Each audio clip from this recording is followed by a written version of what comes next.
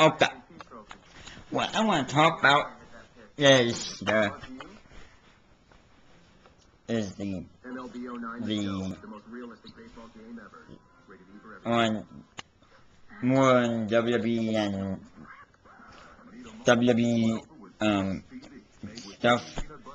But I, here's how here's what my my ideas are gonna be for WrestleMania now.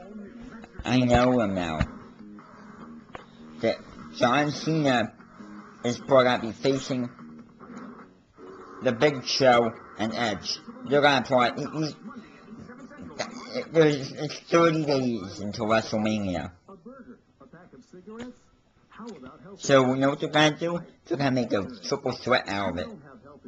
Dan Mikazov is probably gonna get put in uh, feud with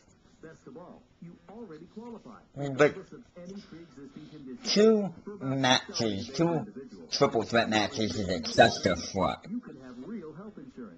it is. It's not. It would be too much. What I want to, that to happen is that they would have, they would, they would have um, Chris Jericho facing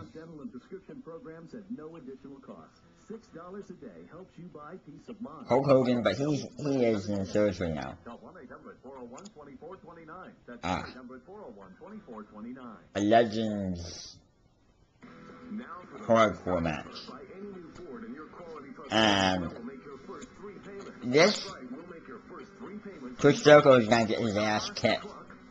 Uh, but and Randy Orton, Triple H is gonna kill him. He's gonna be facing a death penalty. Triple H is gonna kill Randy Orton. He is gonna annihilate him.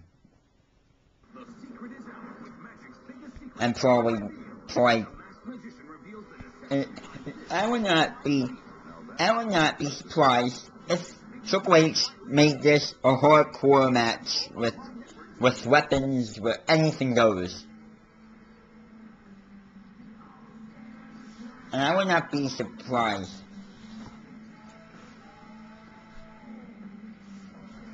if they, if the Undertaker, um,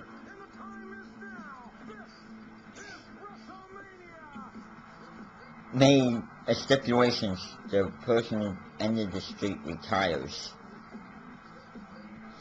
Also, I want to watch this.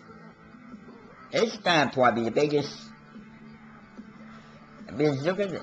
I mean, it's gonna be bigger, and also, what, I'm gonna be seeing is a lot better matches.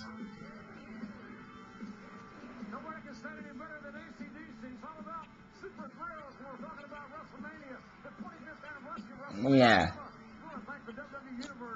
So next time.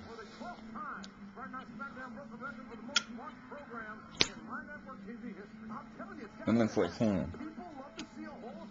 Signing off.